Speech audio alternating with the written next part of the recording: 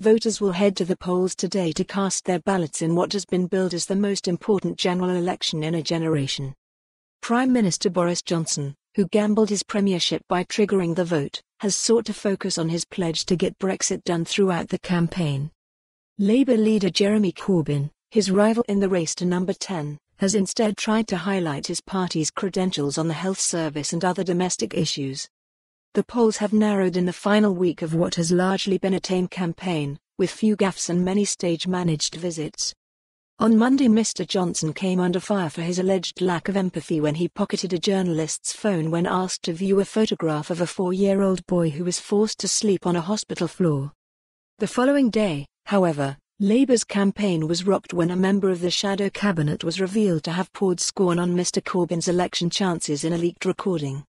A terror attack on London Bridge, which echoed a similar incident in the middle of the 2017 election, briefly disrupted the campaign, but quickly turned political as the Tories and Labour exchanged blows over how to deal with such threats.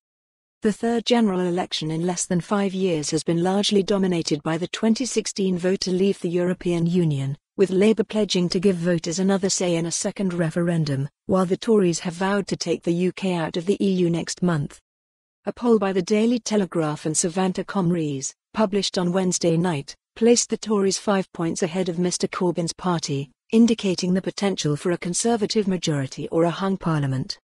But a separate poll by Kantar put the Tories on 44%, Labour on 32% and the Liberal Democrats on 13%. Voter turnout, however, could play a major role in the election outcome with rain, wind and chilly temperatures forecast for much of the country throughout Thursday.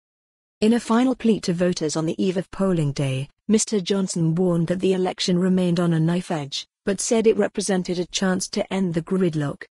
Today is our chance to unite as a country and put the uncertainty to bed so people can get on with their lives, he told supporters in East London. Just imagine how wonderful it will be to settle down to a turkey dinner this Christmas with Brexit decided, and how awful it would be if Corbyn and Sturgeon were in Downing Street advancing their plans for two more referendums. Let's stop the chaos and stop the referendums. We can secure a majority Conservative government if we win just nine more seats. Ballot box, Great Britain, Blue Circle, vote Conservative to hashtag Get Brexit Done. Clapping hands, thank you to everyone who joined us at the Copper Box Arena in the Olympic Park tonight. pic.twitter.com slash ko1 for more on this story, visit the news article link.